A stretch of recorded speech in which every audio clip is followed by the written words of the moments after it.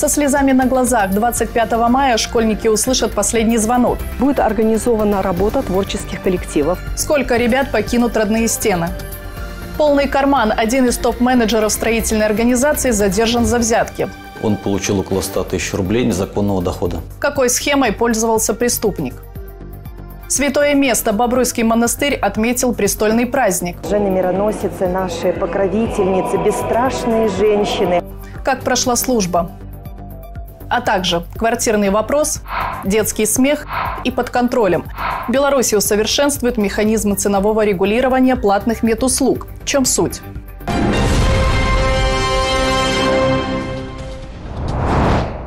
Итоги уходящего вторника подводят наши корреспонденты и я, Юлия Евтушенко. Александр Лукашенко провел совещание по вопросам совершенствования контрольно-надзорной деятельности. На повестке дня проект указа, который предусматривает корректировку нормативно-правовых актов в сфере. Белорусский лидер подчеркнул, сформирована специальная система. Однако негативные тенденции не изжиты. Под видом профилактических работ проводятся полноценные проверки. Глава государства отметил, зачастую контролеры занимаются бюрократической возней. Усилия проверяющих часто направлены именно на поиск недостатков и применение штрафных санкций а надо бы на улучшение результатов деятельности предприятия.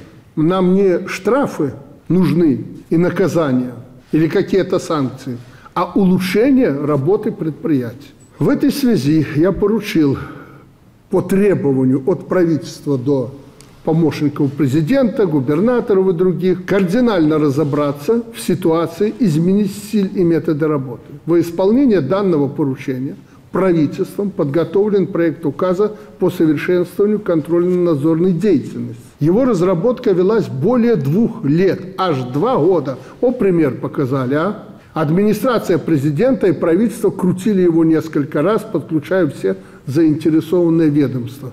В результате проект содержит ряд новаций.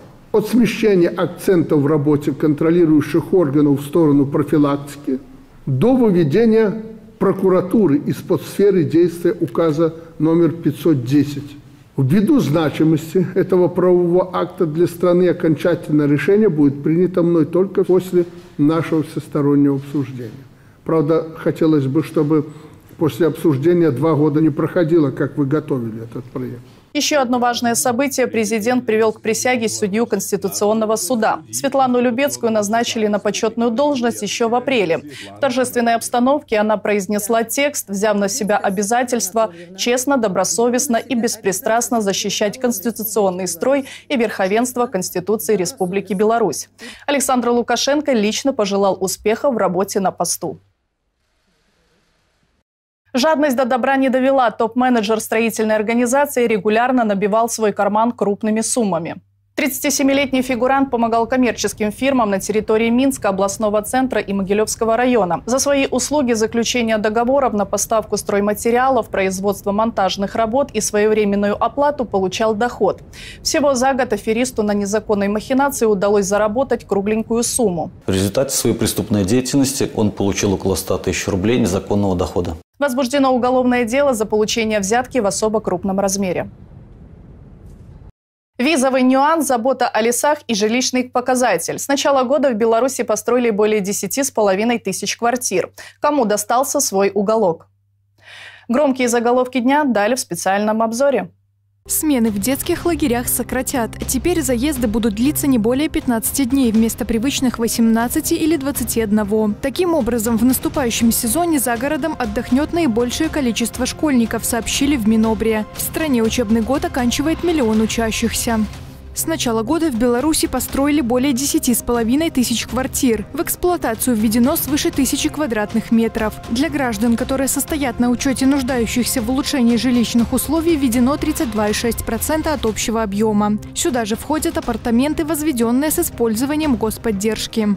В Беларуси усовершенствуют механизмы ценового регулирования платных медуслуг. В планах скорректировать нормативы правовых актов по вопросам установления и применения предельных максимальных тарифов, а также формирование цен на лекарственные средства и изделия медназначения. Главная цель – обеспечить их доступность для населения.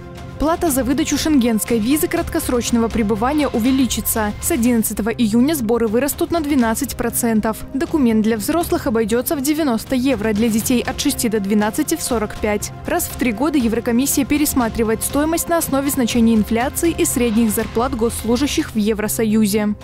Ограничения на посещение лесов введены в 14 районах Беларуси. Запрет действует в Брестской, Гродненской и Минской областях. В связи с этим исключены въезд транспорта, проведение турслетов и коллективных выездов с палатками. Не возбраняется сбор ягод и грибов, однако без разведения костров на привале. Отслеживать информацию можно по интерактивной карте, размещенной на официальном сайте Минлесхоза.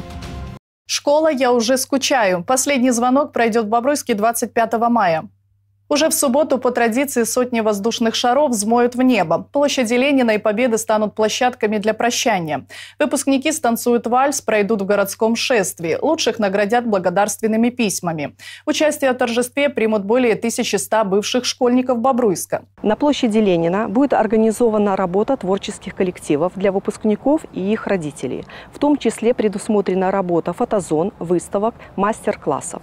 Кроме того, 24 мая в городе Бресте состоится республиканский последний звонок, в котором примут участие в составе делегации Могилевской области лучших 10 выпускников города Бобруйска. В 2024-м учреждения образования покинут более 55 тысяч одиннадцатиклассников. Однако не время расслабляться. Впереди сдача экзаменов и поступления. К слову, в этом году ЦЭ и ЦТ пройдут в единые сроки для всех. И для новоиспеченных выпускников, и для тех, кто окончил школу в прошлые годы. Наиболее востребованные предметы для сдачи – русский и английский, физика, математика. В Глоске на днях прошел первый открытый региональный фестиваль-конкурс детского искусства имени Валерия Иванова. Статусное событие Приднепровского края собрало более 400 юных конкурсантов из разных уголков страны. На творческое мероприятие заглянул Виталий Гаврусев. На два дня, 17 и 18 мая, Глуск превратился в культурную столицу Могилевской области. Здесь прошел первый открытый региональный фестиваль-конкурс детского искусства имени Валерия Кирилловича Иванова, народного артиста Республики Беларусь. Что может быть трогательнее и милее, чем выступление ребенка? А если на сцене целые созвездия юных артистов, то и радости в разы больше. Именно такое настроение царило в Глузке на протяжении двух фестивальных дней. Я искренне от всего сердца поздравляю вас с открытием. Я желаю всем участникам, которые сегодня будут, проникнуться вот той любовью к родной земле, которая всегда была в творчестве Валерия Иванова. Желаю всем успеха, желаю всем хорошего настроения, желаю всем прикоснуться к высокому искусству, Марафон инструментального, вокального, народного и танцевального искусства по праву можно считать своеобразной олимпиадой талантов, достойной адепты творчества Валерия Иванова. Преемственность поколений меня очень радует. Очень хорошие звездочки растут на этом фестивале.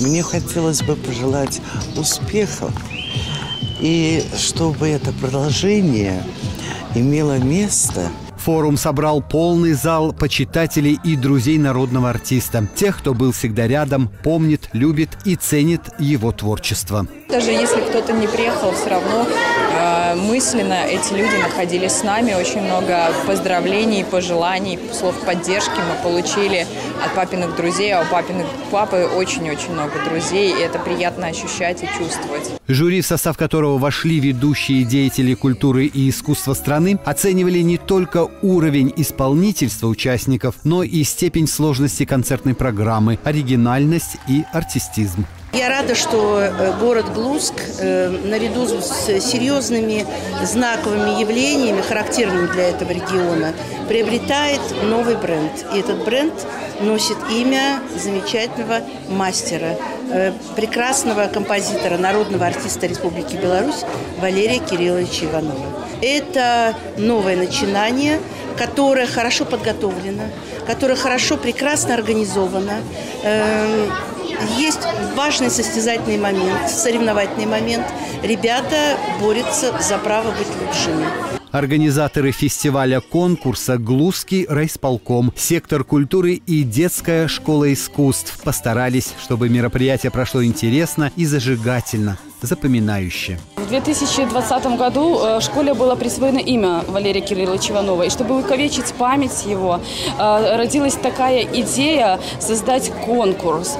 И э, я надеюсь, у нас получилось. Мы в этом году сделали вот первый открытый региональный фестиваль конкурс, в котором принимало более 150 коллективов в четырех номинациях. На протяжении всего фестиваля работали различные тематические площадки, выставки, продажи, торговые ряды. В программе мастер-классы, конкурсы, игры, экскурсии, концерт и многое другое. Глузская земля очень богата на талантливых людей. Музыканты, художники, э, поэты, много людей, которые мог, могут э, есть и прославлять нашу Глущину. Атмосфера праздника, дружбы, все очень прекрасно, все такие дружные, хорошие, красивые. Очень замечательный фестиваль, мы посмотрели, как танцуют другие коллективы, все просто прелестно, и фестиваль очень веселый и позитивный. Конкурс будет проходить один раз в два года. Он призван выявлять и поддерживать талантливых детей и молодежь, повышать уровень исполнительского мастерства, укреплять культурные связи, стимулировать творческие инициативы. Появление такого конкурса имени нашего белорусского композитора – это тренд, это бренд не только этого города, не только области, но, наверное, и всей Беларуси. Хочется пожелать этому конкурсу дальше, выше, вперед развиваться, привлекать все большее количество участников и расширять горизонты. Итог. Победителям и участникам вручены дипломы Гран-при, лауреатов, дипломантов, участников фестиваля, специальные призы и подарки. Сегодня ребенок с этого фестиваля, я уверен, что не один получит путевку в творческую жизнь нашей страны. Это очень важно. Виталий Гаврусев, Станислав Чечерин, Бобруйск, 360. Колокольный звон. Женский монастырь Жен-Мироносец отметил престольный праздник. Служба впервые прошла в воссозданном соборе святого Александра Невского. Божественную литургию возглавил епископ Бобруйский и Быховский Серафим. Во время совместной молитвы внутри ощущалась душевная радость и Божья благодать в такой особенный день. Жены мироносицы, наши покровительницы, бесстрашные женщины, которые следовали за Христом до последнего его земного пути. И также рано утром на рассвете самые первые узнали о том, что Христос воскрес, и разнесли эту благую весть по всему миру. По окончанию богослужения архипастырь поздравил настоятельницу монастыря, духовенство, сестер-прихожан. Праздник Жен-Мироносец воистину особо подчеркивает высокое призвание прекрасного пола и напоминание об их подвиге. Это все из событий к этой минуте. Смотрите нас в интернете и соцсетях. Мы в эфире каждый будний вечер. Счастливо!